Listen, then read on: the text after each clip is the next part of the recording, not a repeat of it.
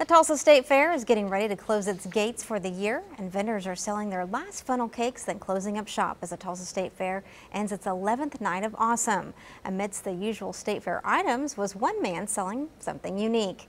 You may have noticed him tucked way back in the Expo Center.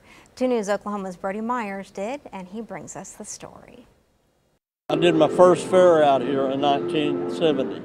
53 years later, between the Ferris wheel and deep fryers, Tom Scott is selling pianos to families. He's loaded up pianos and sold them at fairs and conventions from Canada to Texas and countless places in between. What makes me happy about it, I give joy to a family or to an individual. I'm giving them something that they can really have a value with. Scott told me his sister is trained in opera and piano. In his teenage years, he decided to follow in her musical footsteps. Then, he ran into a problem.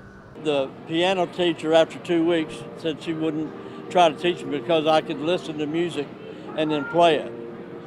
So I play by ear. About 10 years ago, Jason Cochran picked up a book and taught himself how to play piano. Uh, I just love the sound of them. Uh, I don't know what it is about a piano, but you can change a whole whole song with a piano. Cochran checked out all the pianos at Scott's booth, playing a few notes and talking shop with Scott. More people need to learn to play the piano. We need more musical artists in the world, so. And maybe the next piano player will be inspired when the Tulsa State Fair opens its gates again next September. Reporting in Tulsa, I'm Brodie Myers, 2 News, Oklahoma.